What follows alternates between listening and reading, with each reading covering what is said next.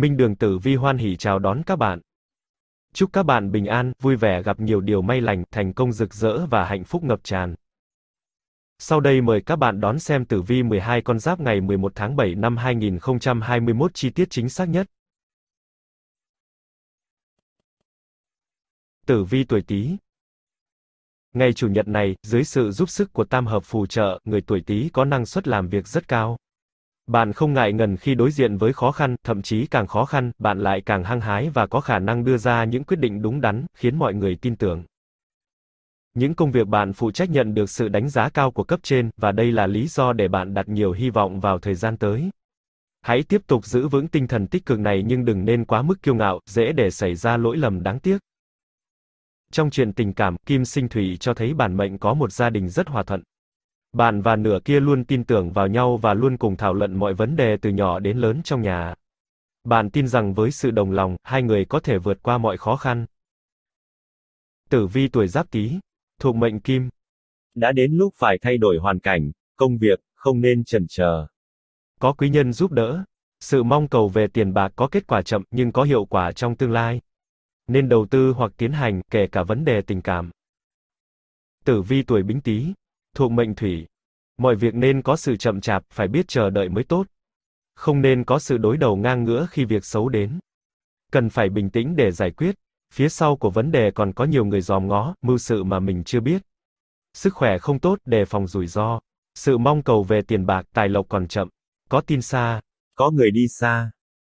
Tử vi tuổi mậu tý, thuộc mệnh hỏa.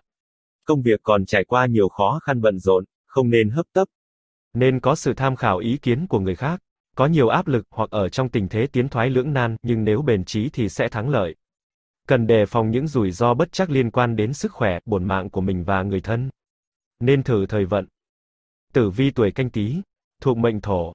Có quý nhân hoặc có cơ hội đem đến lợi lộc cho mình, nhưng cũng không nên mừng vội vì phải có sự trả giá, điều kiện hoặc vì tiền bạc chỉ đem lại những bất hòa, xích mích về tình cảm, hoặc phải chi dụng vào những việc buồn về đình đám, xe cộ, máy móc, án phí, lệ phí, thuế, đau ốm, sức khỏe, tăng tóc, tai nạn của mình hoặc người thân. Có tin xa, mọi sự sẽ đến hai lần. Chuyện tình cảm không nên cưỡng cầu. Tử vi tuổi nhâm tý, thuộc mệnh mộc. Không nên để cho mình ở trong thế kẹt hoặc bị ràng buộc. Hãy thẳng thắn nói lên ý kiến của mình dù biết rằng sẽ có nhiều bất hòa, tranh cãi. Cẩn trọng khi đi đứng, di chuyển, có rủi ro. Mọi dự tính chưa có thể tiến hành. Nên chờ đợi, có tin buồn, tài lộc chậm, chưa đến.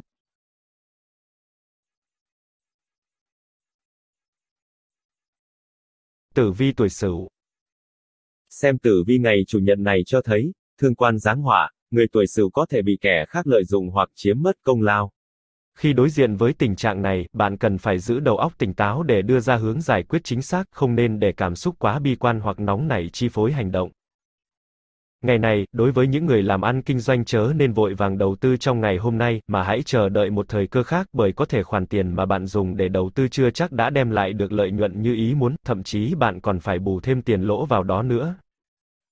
May mắn, thổ sinh kim, những người còn độc thân dễ dàng tạo được ấn tượng tốt đẹp với người khác phái. Hãy thoải mái thể hiện bản thân để mọi người nhận ra sức hấp dẫn của bạn. Bạn có thể gặp được người phù hợp vào chính hôm nay. Tử vi tuổi Ất Sửu, thuộc mệnh Kim. Đi vào chuyện tình cảm hoặc quyết định theo tình cảm là điều không nên. Chuyện tiền bạc cần phải có sự thẳng thắn thì mới có kết quả. Nếu có tiệc đình đám được mời thì mình cũng phải có sự hao tốn. Có tin tức ở xa. Tử vi tuổi Đinh Sửu, thuộc mệnh Thủy. Nên tự trọng và giữ lấy uy tín của mình. Không nên bực bội, cãi nhau khi công việc, tình cảm đến không được như ý. Nếu suy nghĩ kỹ thì cũng không có gì gọi là thiệt thòi. Sự mập mờ, mơ hồ về giao ước, hứa hẹn sẽ có kết quả ở tương lai. Tiền bạc còn chậm, hoặc chỉ là lời hứa. Tử vi tuổi kỷ sửu, thuộc mệnh hỏa.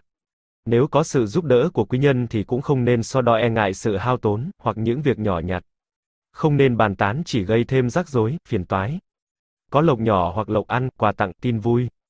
Đã đến lúc cần phải giải quyết những công việc đúng hạn kỳ, theo sự hẹn ước. Có tin xa, hoặc gặp gỡ người thân. Tử vi tuổi tân sửu, thuộc mệnh thổ. Dù có gặp chuyện vui cũng không nên quá đáng, sẽ có kết quả ngược lại, hoặc chỉ đem lại sự mích lòng.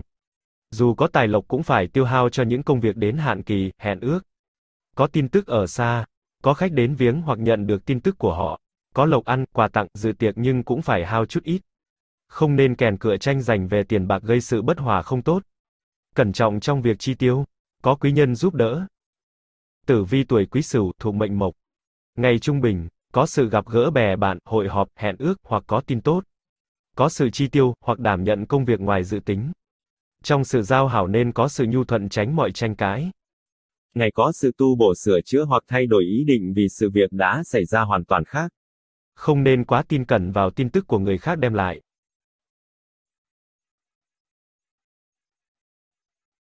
Tử vi tuổi dần Cục diện dần thân tương xung, người tuổi dần sẽ phải làm việc vô cùng vất vả trong ngày hôm nay.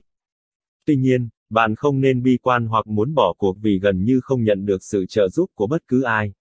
Hãy nghĩ rằng thử thách hôm nay là điều bạn bắt buộc phải vượt qua nếu muốn phát triển. Để tăng hiệu quả làm việc, một khi đã bắt tay vào công việc gì, bản mệnh không nên sao nhãng nghĩ đến những chuyện khác khiến mình dễ mắc phải những sai lầm đáng tiếc. Khi có người khác góp ý, bạn cũng nên chú ý tiếp thu. Thiên ấn chiếu mệnh cho thấy bạn vốn là một người tài giỏi và có kinh nghiệm trong lĩnh vực mình đang phụ trách. Vì vậy, dù hiện tại có không được ai công nhận đi chăng nữa nhưng sớm muộn gì, người ta sẽ nhận ra tài năng của bạn mà thôi. Tử vi tuổi giáp dần, thuộc mệnh thủy. Ngày sung của bổn mạng. Nếu có tài lộc thì nên trang trải mọi việc còn tồn động lâu dài. Có quý nhân hoặc bè bạn giúp đỡ trong công việc. Không nên trần chờ lỡ mất cơ hội. Có tin tức ở xa hoặc người thân đi xa. Gặp lại người xưa. Nếu cần thay đổi nơi ăn trốn ở, văn phòng thì nên quay về khu vực cũ. Có người nhắc lại chuyện xưa khiến mình cần phải giải quyết. Nên cẩn trọng về sức khỏe, nhà có người đau yếu hoặc gặp chuyện buồn. Tử vi tuổi bính dần, thuộc mệnh hỏa. Ngày sung của bổn mạng. Ngày bị nhiều áp lực nên bình tĩnh, có nhiều bôn ba, khó khăn, hoặc gặp chuyện khó giải quyết mà công việc lại trong tình trạng cấp bách. Cẩn trọng gặp dễ sự thưa kiện, tranh cãi, nói ngược, sai hẹn. Không nên giao du, kết bạn, đi chung sẽ gặp điều bất mãn, hao tốn. Chuyện tình cảm chỉ là sớm nở tối tàn. Tử vi tuổi mậu dần, thuộc mệnh thổ. Ngày sung của bổn mạng. Ngày có rất nhiều biến động, biến chuyển trong công danh, tình cảm, tài lộc khiến mình phải rất bận rộn để giải quyết. Tin tức tốt xấu lẫn lộn. Nên tìm gặp quý nhân là người khác phái sẽ giúp được cho mình. Nên cẩn trọng trong việc di chuyển đi lại, sử dụng xe cộ máy móc có rủi ro, tai nạn. Không nên bày vẽ thêm nhiều chuyện sẽ gặp rắc rối. Tử vi tuổi canh dần, thuộc mệnh mộc. Ngày sung của bổn mạng. Nếu công việc, hoàn cảnh, tình thế không còn được như ý muốn thì nên thay đổi hoặc đi xa, rời chỗ, ngày có sự tụ hội đông đảo, hoặc có nhiều tin tức tốt xấu lẫn lộn. Sức khỏe không tốt, tâm tình bất an. Nên cẩn trọng khi sử dụng xe cộ, máy móc, nuôi súc vật. Không nên tham vọng quá lớn sẽ có điều hối tiếc. Tử vi tuổi nhâm dần, thuộc mệnh kim. Ngày không tốt, không nên mưu cầu hoặc giải quyết ngay các công việc quan trọng. Ngày có nhiều tin tức xấu, hoặc bặt tin, nên dự tính cho mình đường hướng khác. Trong việc gặp gỡ, bàn thảo dễ gây ra chuyện xích mích, lôi thôi, chơi xấu. Tài lộc dễ hao, có hạn đi xa.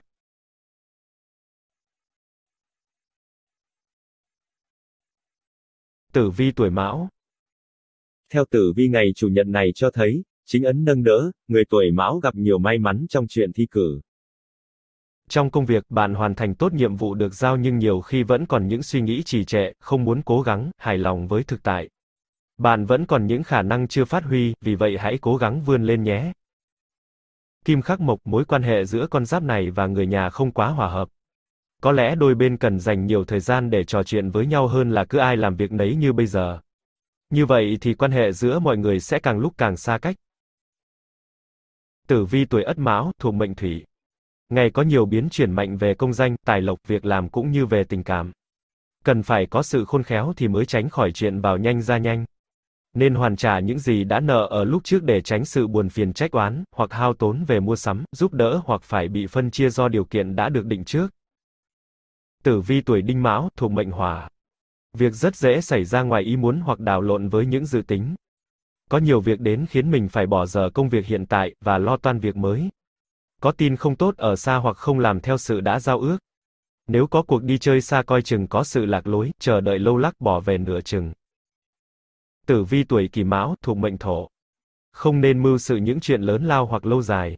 Hãy để sự việc tự nhiên đến. Nên hỏi thăm tin tức về công việc cũ e không có kết quả như ý hoặc chưa tiến hành, bỏ dở nữa chừng. Có người hoặc việc đến mình phải tiếp hoặc phải giải quyết. Thuận lợi cho việc mưu cầu về tình cảm, ước hẹn, nhưng cũng không nên đi tìm, sự việc sẽ đến. Tử vi tuổi Tân Mão, thuộc mệnh Mộc. Chuyện tình cảm không nên cưỡng cầu. Ý nguyện của họ như thế nào thì mình thực hiện như thế đó. Có quý nhân, có tin tức, hao tài cho mọi việc quan hệ, giao thiệp. Công việc làm không nên trước chăm chỉ sau chán nản, hoặc gặp khó khăn mà thoái lui không có lợi. Có chuyện tu bổ, sửa chữa sắp xếp lại công việc. Tử vi tuổi Quý Mão, thuộc mệnh Kim. Sự chờ đợi tin tức hoặc công việc đã lâu nay sẽ đến. Làm việc gì cũng nên tiến hành nhanh chóng vì sẽ có sự tạm dừng hoặc dở dang vì có sự việc khác hoặc người khác đến. Có lộc nhỏ, hoặc lộc ăn, quà tặng. Ngày có đám tiệc nhưng không có cuộc vui trọn vẹn như ý.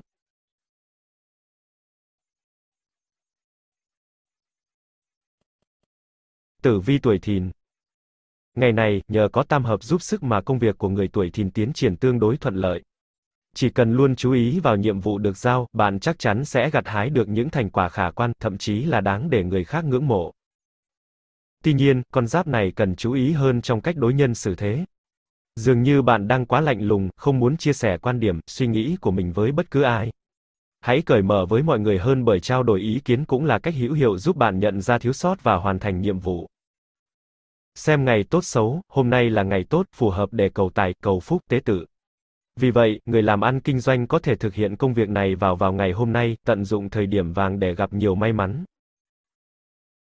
Tử vi tuổi Giáp Thìn, thuộc mệnh Hỏa. Có nhiều tin tức tốt xấu lẫn lộn đến về công danh cũng như về tình cảm. Có tài lộc vào nhanh ra nhanh, sức khỏe không tốt, ngày có quá nhiều sự bận rộn, lo âu, gặp quý nhân hoặc bạn bè đến, cẩn trọng khi di chuyển, hấp tấp vội vàng không có lợi, có tin buồn hoặc có tin tức khiến mình phải lo toan, đùm bọc. Tử vi tuổi Bính Thìn, thuộc mệnh Thổ. Nên suy nghĩ kỹ trước khi ăn nói hoặc hành động, dễ bị hàm oan, thị phi, ràng buộc vì lời hứa.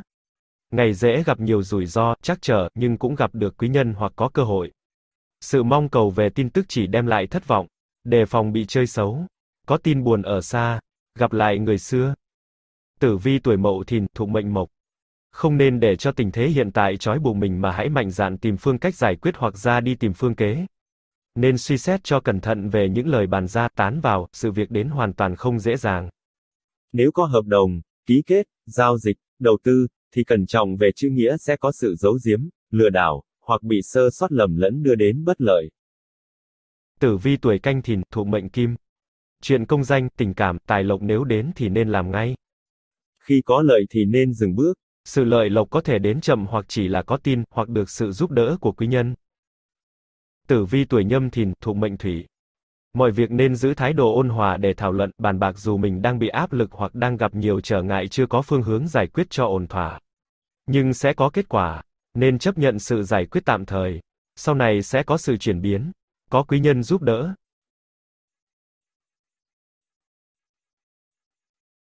Tử vi tuổi Tỵ. Tử vi chủ nhật này chỉ ra rằng người tuổi Tỵ rất thông minh, nhanh trí trong ngày hôm nay. Nhị hợp phù trợ, bạn nhanh chóng nắm bắt được gốc rễ vấn đề dù vấn đề ấy có hoàn toàn mới mẻ đi chăng nữa. Đồng thời, bạn cũng là người khiêm tốn, chịu khó thu ý kiến đóng góp.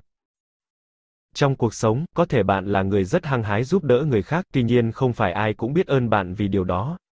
Vì thế, một khi đã quyết định giúp đỡ ai thì hãy cứ vô tư, đừng so đo thiệt hơn để tránh ảnh hưởng tâm trạng. Hỏa khắc kim, mối quan hệ gia đình của bạn mệnh không mấy êm ấm. Vợ chồng bạn có thể chiến tranh lạnh vì những quan điểm bất đồng với nhau. Hãy nhanh chóng giải quyết những khúc mắc đang tồn tại, đừng để tình cảm đôi bên phai nhạt. Tử vi tuổi Ất Tỵ thuộc mệnh Hỏa. Ngày có tài lộc hoặc việc mong cầu có kết quả, nhưng hơi có sự buồn phiền, gặp trắc trở đôi chút. Không nên vì những chuyện nhỏ nhặt mà quên đi mục đích chính của mình. Chịu hao tốn một chút mà giữ được lâu dài. Ngày có nhiều sự việc đến phải giải quyết hoặc giao tiếp. Có cuộc vui nhỏ. Tử vi tuổi đinh tỵ, thuộc mệnh thổ. Không nên chần chừ mà hãy ra đi để gặp gỡ mới có lợi. Sự mong cầu về công danh, tài lộc, tình cảm sẽ có kết quả tốt nhưng tất cả chỉ mới bắt đầu. Có tin xa, có sự gặp gỡ bất ngờ giữa mình và người thân, bè bạn, nhưng lại trái với dự tính. Tử vi tuổi kỳ tỵ, thuộc mệnh mộc. Có quý nhân giúp đỡ. Có tài lộc nhưng dễ hao tán vì giao thiệp, chi phí các loại có định kỳ, đến hạn, hoặc phải chia phần. Cần nên cẩn trọng về lời ăn tiếng nói, việc làm dễ gặp chuyện thị phi, lời đồn, hàm oan, hoặc có những tin tức đến mà nội dung có sự trái ngược lẫn nhau, nhất là về mặt tình cảm. Có tin buồn về sức khỏe, bệnh tật, tai nạn, công danh của người thân. Tử vi tuổi Tân Tỵ, thuộc mệnh Kim. Nên âm thầm tiến hành công việc theo ý định của mình. Có sự gặp gỡ lại người xưa, trốn cũ, việc cũ. Chuyện tình cảm đã đến lúc phải có sự thay đổi, đưa đến kết quả hoặc tiến lên, hoặc chia tay. Đến nơi nào cũng không nên ở lâu, bất lợi. Có lộc nhỏ, lộc ăn, quà tặng. Tử vi tuổi quý tỵ, thuộc mệnh thủy. Sự mong cầu về tiền bạc, tài lộc còn chậm, hoặc vào nhanh ra nhanh. Có sự bảo bọc chi phí cho người khác. Công việc nên tiến hành bình thường, chưa phải là lúc thay đổi. Cẩn trọng có tiểu nhân hoặc có tin xấu ở xa.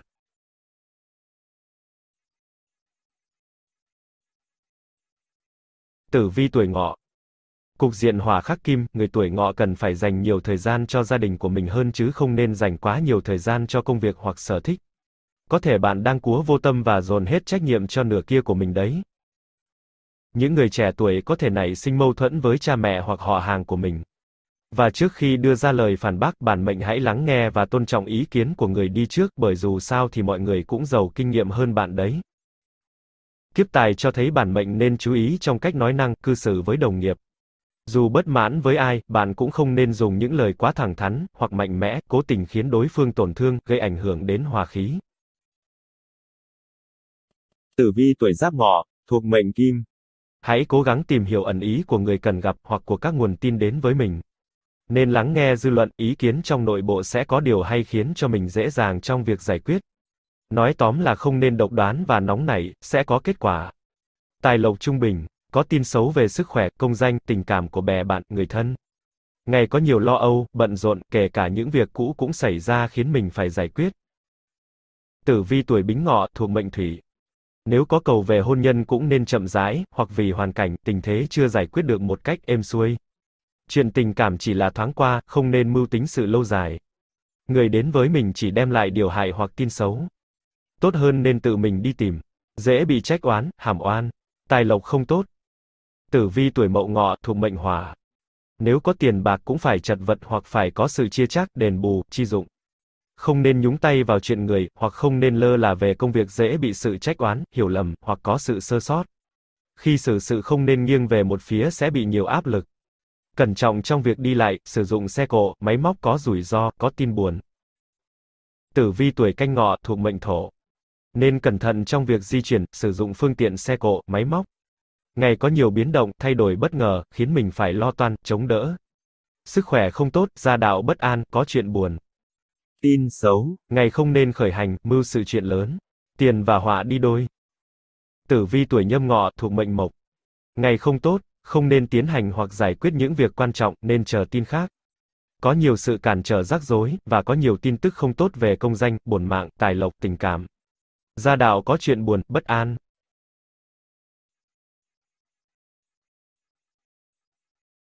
Tử vi tuổi mùi Với tuổi mùi bước sang ngày chủ nhật này gặp thương quan tác động, điều này làm người tuổi mùi có thể vướng phải nhiều rắc rối bởi cái tính nóng nảy, thiếu kiềm chế của mình. Vì bảo vệ ý kiến cá nhân, bạn có thể vô tình hoặc cố ý đắc tội với người bề trên, hoặc người có chức quyền, đẩy mình vào rắc rối. Ngày hôm nay, tốt nhất bạn nên dành nhiều thời gian hơn để lắng nghe ý kiến của người khác. Có thể người ngoài sẽ nhận ra những điều chưa hợp lý trong suy nghĩ của bạn, bởi nhiều khi người ngoài cuộc tỉnh táo hơn bạn nghĩ nhiều. Thổ sinh kim, bản mệnh và người bạn đời luôn thấu hiểu lẫn nhau mà không cần đôi bên phải nói rõ thành lời. Có thể được như vậy là nhờ trước nay hai người luôn tâm sự và trao đổi ý kiến với nhau trong mọi chuyện. Tử vi tuổi ất mùi, thuộc mệnh kim. Mọi việc không nên cưỡng cầu chỉ tự làm khổ mình. Có quý nhân đến giúp đỡ về mặt làm ăn hoặc có tin tốt về việc làm. Đã đến lúc cần phải thay đổi hoặc tiến hành những công việc đã có dự tính từ lúc trước. Tài lộc đến bao nhiêu thì nhận bấy nhiêu, không nên tiến thêm. Tử vi tuổi đinh mùi, thuộc mệnh thủy. Tình cảm bình thường, có tin xa. Ngày của sự hẹn ước, đáo hạn. Sự mong cầu về tài lộc còn xa, chỉ có lộc nhỏ, lộc ăn, quà tặng nhưng vẫn phải chịu hao tốn. Nếu có tổ chức tiệc tùng đình đám, sự việc sẽ kéo dài, không được như ý. Đã đến lúc có sự thay đổi phương hướng làm ăn hoặc công việc. Nếu công việc đang trôi chảy và kết quả còn xa thì sẽ bị gián đoạn nữa chừng vì có tin mới, sự kiện khác xuất hiện, hoặc có khách quý nhân đến cần phải tiếp xúc và giải quyết. Tử vi tuổi kỷ mùi, thuộc mệnh hỏa. Dù sự việc có khó khăn đến đâu cũng nên cố gắng dàn xếp cho ổn thỏa, hoặc làm xong công việc sẽ có kết quả tốt. Có khách hoặc có tin đến phải tạm dừng công việc, phải ra đi để giải quyết tiếp xúc. Có tài lộc nhưng phải hao tán cho mọi chi phí, nhưng cũng có quý nhân giúp đỡ, có lộc ăn, quà tặng. Chuyện tình cảm đôi lứa nên chờ một dịp khác, chớ nên quyết định. Tử vi tuổi tân mùi, thuộc mệnh thổ. Nên âm thầm tiến hành công việc theo ý định của mình. Có sự gặp gỡ lại người xưa, trốn cũ, việc cũ. Chuyện tình cảm đã đến lúc phải có sự thay đổi, đưa đến kết quả hoặc tiến lên, hoặc chia tay. Đến nơi nào cũng không nên ở lâu, bất lợi. Có lộc nhỏ, lộc ăn, quà tặng. Tử vi tuổi quý mùi, thuộc mệnh mộc. Sự mong cầu về tiền bạc, tài lộc còn chậm, hoặc vào nhanh ra nhanh. Có sự bảo bọc chi phí cho người khác. Công việc nên tiến hành bình thường, chưa phải là lúc thay đổi. Cẩn trọng có tiểu nhân hoặc có tin xấu ở xa. Tử vi tuổi thân.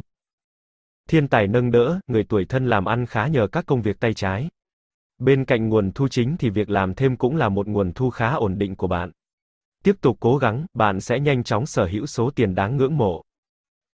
Ngoài ra, một số người cũng có thể nhận được một khoản tiền lớn nhờ vào may mắn của mình. Tuy nhiên, tốt nhất là bạn vẫn nên cố gắng làm ăn, tránh dựa dẫm vào những khoản tiền như thế này. Tay làm hàm nhai mới có thể giúp bạn có một cuộc sống ổn định. Kim khí vượng, bản mệnh cần chú ý giữ gìn sức khỏe, đặc biệt là các bệnh liên quan đến xương cốt. Người lớn tuổi chú ý vận động vừa phải, trong khi đó thì người trẻ tuổi làm văn phòng chớ nên ngồi một chỗ quá lâu. Tử vi tuổi giáp thân, thuộc mệnh thủy. Ngày tuổi của bổn mạng, mọi việc đều thay đổi, không nên theo đường hướng cũ. Tiền bạc vào nhanh ra nhanh, có quý nhân giúp đỡ, giao thiệp với người khác phái bất lợi hoặc mình phải lo toan cho họ. Cẩn trọng về sức khỏe không được tốt, có khách hoặc có tin tức của họ. Tử vi tuổi bính thân, thuộc mệnh hỏa. Ngày tuổi của bổn mạng, nên từ chối, hoặc rút lui nhẹ nhàng những việc không cần thiết mà hãy chú trọng vào những công việc quan trọng. Nếu có tin tức xấu hoặc có sự trở ngại cũng không nên lùi bước, sẽ có kết quả. Cẩn trọng chuyện thị phi, ràng buộc vì lời nói. Có tin tức về tình cảm ở xa, nên đi xa, rời chỗ. Tử vi tuổi mậu thân, thuộc mệnh thổ. Ngày tuổi của bổn mạng, không phải một lần giải quyết và ra tay hành động mà kết thúc được vấn đề. Tránh mọi sự cãi cọ, xô sát hoặc vì nóng tánh mà gặp rủi ro mất đi nhiều tình cảm với người khác. Cuối ngày có tin vui hoặc có sự gặp gỡ. Ngày chỉ nên ngồi yên, việc thế nào thì chỉ làm như thế ấy. Tài lộc kém. Tử vi tuổi canh thân, thuộc mệnh mộc. Ngày tuổi của bổn mạng. Mọi việc đều thay đổi, không nên theo đường lối cũ. Tiền bạc vào nhanh ra nhanh. Có quý nhân giúp đỡ. Giao thiệp với người khác phái bất lợi hoặc mình phải lo toan cho họ. Cẩn trọng về sức khỏe không tốt. Có khách hoặc có tin tức của họ. Tử vi tuổi nhâm thân, thuộc mệnh kim. Ngày tuổi của bổn mạng. Không nên tiến hành hoặc giải quyết những việc quan trọng, nên chờ tin khác. Có nhiều sự cản trở rắc rối, và có nhiều tin tức không tốt về công danh, bổn mạng, tài lộc, tình cảm. Gia đạo có chuyện buồn, bất an. Tử vi tuổi dậu. Công việc của người tuổi dậu tiến triển thuận lợi nhờ có sự che chở của tam hội. Bản mệnh hoàn thành tốt những nhiệm vụ được giao phó. Cùng với đó, bạn cũng rất tự tin và không hề ngại ngần khi đối diện với những thách thức cũng như sẵn sàng học hỏi những điều mới. May mắn hơn, con giáp này còn có cơ hội gặp được quý nhân trong ngày hôm nay. Bạn có thể tiếp thu được nhiều điều có giá trị từ người ấy, giúp ích cho công việc sau này. Do đó, đừng ngại lên tiếng nhờ trợ giúp nếu gặp khó khăn. Nếu có ý định xuất hành trong ngày hôm nay, bạn nên chọn đúng những hướng tốt để công việc thêm phần thuận lợi. Hướng tốt bao gồm hướng Tây Bắc sẽ giúp bạn gặp hỷ thần và hướng Tây Nam sẽ giúp bạn gặp được tài thần. Tử vi tuổi Ất Dậu, thuộc mệnh Thủy. Không nên đi quá xa hoặc mong cầu những chuyện lớn lao thì lợi và hại sẽ đi đôi. Tin vui đi liền với tin buồn hoặc có nhiều chuyện, tin tức đến cần phải lo toan, tính toán. Có người đến mời hợp tác hoặc hỏi ý kiến. Tử vi tuổi Đinh Dậu, thuộc mệnh Hỏa. Mọi việc còn lâu dài chưa phải là đến lúc kết thúc nhưng cũng phải tiến hành cho nhanh, hoặc nên cố gắng tìm ra giải pháp mới. Tài lộc chỉ hé mở chưa phải là lúc tính chuyện lớn lao, cần phải cố gắng thêm nữa để khỏi phụ lòng người, cơ hội đã giúp đỡ mình. Có quý nhân, bè bạn, người thân đến. Nên nhu thuận với mọi người, tránh mọi sự thị phi, tranh cãi. Tử vi tuổi kỷ dậu, thuộc mệnh thổ. Việc đến như thế nào thì làm như thế ấy. Nên cẩn trọng có những tình huống xảy ra không tốt, gặp trắc trở, hoặc có người muốn nhúng tay vào chuyện của mình. Tuy nhiên nếu có người đề nghị việc gì thì nên chấp thuận, không có hại, tình cảm tốt. Thuận lợi cho việc đi xa, dọn dẹp, thu xếp công việc. Chỉ nên nói chuyện ở chỗ riêng tư, vì sẽ có người dòm ngó hoặc châm trích. Tử vi tuổi tân dậu, thuộc mệnh mộc. Nếu cầu về tình cảm, hôn nhân, hẹn ước thì nên tiến hành. Không nên nghe người ngoài, có nhiều sự cản trở, bị dòm ngó. Tài lộc vào ra thất thường. Có sự gặp gỡ, bè bạn, người xưa. Không nên nói trước điều gì sẽ bị ràng buộc sau này. Tử vi tuổi quý dậu, thuộc mệnh kim. Ngày có tài lộc nhưng cũng dễ hao tán. Có sự gặp gỡ hoặc có nhiều tin tức của bè bạn quý nhân, người thân. Nếu có lời đề nghị về công việc thì nên chấp thuận, hoặc đi đến theo sự yêu cầu.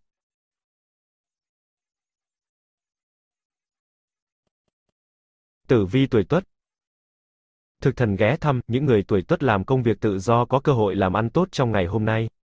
Có thể sự đáng tin cậy của bạn đã gây ấn tượng tốt với mọi người, giúp khách hàng đến với bạn đông đảo và thường xuyên hơn. Với người làm công ăn lương thì hôm nay được nghỉ ngơi bên những người thân yêu của mình, dù bạn chưa nhận được một khoản tiền thưởng nào.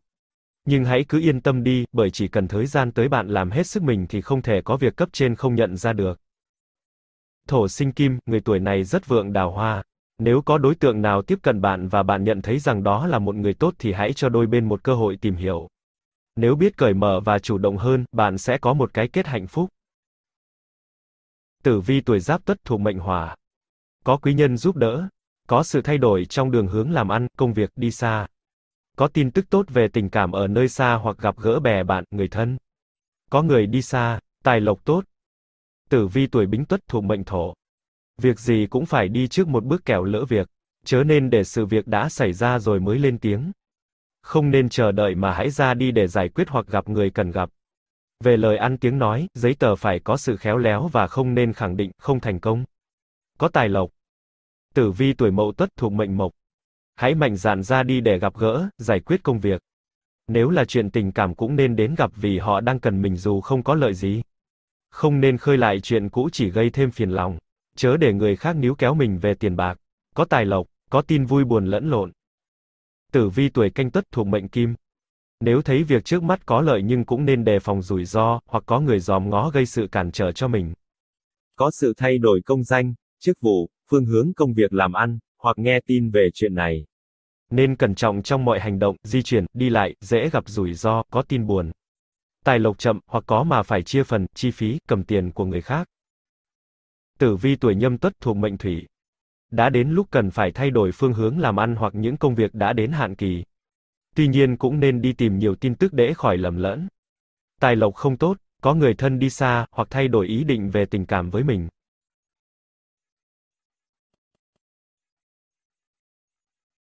Tử vi tuổi hợi Ngũ hành tương hại giáng họa, khiến người tuổi hợi vướng phải nhiều chuyện phức tạp, rắc rối trong ngày hôm nay. Tiểu nhân có thể xuất hiện ném đá giấu tay, khiến bạn vướng phải nhiều thị phi, song bạn chớ vội nóng nảy, mất bình tĩnh kẻo rơi vào bẫy của họ. Trong công việc, tâm tính dễ bị kích động khiến bạn đưa ra những quyết định sai lầm. Trước khi bắt tay vào một việc gì, nếu còn chưa chắc chắn thì không nên làm theo ý mình mà nên thử thảo luận với những người đáng tin trước. Kim sinh thủy, nửa kia chính là một chỗ dựa tinh thần rất vững vàng cho bạn. Nếu có điều gì khiến bạn khó xử, hãy trò chuyện với người ấy. Bạn cũng biết nửa kia luôn sẵn sàng lắng nghe và đưa ra cho bạn những lời khuyên hữu ích. Tử vi tuổi ất hợi, thuộc mệnh hỏa. Ngày có nhiều công việc hoặc có tin tức đến bận rộn khiến phải lo toan hoặc phải giao tiếp. Công việc dễ có sự bỏ dở, phá ngang hoặc có sự thiếu sót, gặp trở ngại. Có quý nhân giúp đỡ hoặc đến bàn chuyện có lợi cho mình. Tử vi tuổi đinh hợi, thuộc mệnh thổ. Cứ hết lòng với công việc, chuyện tiền bạc, tài lộc sẽ đến ở một ngày khác. Chuyện tình cảm chớ nên nghĩ ngợi, sẽ có người hiểu mình. Tình cảm tốt, ngày có sự ước hẹn, đính ước, hội họp, tiệc tùng. Có lợi nhỏ. Tử vi tuổi kỷ hợi, thuộc mệnh mộc. Việc đến như thế nào thì làm như thế ấy. Tình cảm vui vẻ, có tin xa, ngày có lộc nhỏ hoặc có lộc ăn, quà cáp, dự tiệc.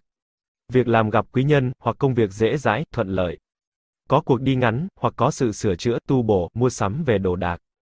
Chuyện tình cảm không nên đặt nặng vào một người hay một công việc, có sự trách oán. Có người không đồng ý về chuyện làm của mình. Tử vi tuổi tân hợi, thuộc mệnh kim. Chuyện tình cảm không nên quyến luyến mà hãy để tự nhiên. Chớ nên ràng buộc nhau. Tình bạn nếu mới gặp gỡ không nên có những lời quá đáng đưa đến mích lòng. Sự mong cầu về tiền bạc còn chậm, hoặc chỉ là lộc nhỏ. Tử vi tuổi quý hợi, thuộc mệnh thủy. Nên hoàn trả nợ nần dù đó là chuyện tiền bạc hay về tình cảm. Mối giao hảo này nên giữ lâu dài dù giữa mình và họ có hai lối sống khác biệt nhau. Trong công việc nên bỏ ngoài tai mọi dư luận, trách oán, thị phi. Hãy giữ lấy ý kiến của mình. Cảm ơn các bạn đã theo dõi video. Xin chào và hẹn gặp lại.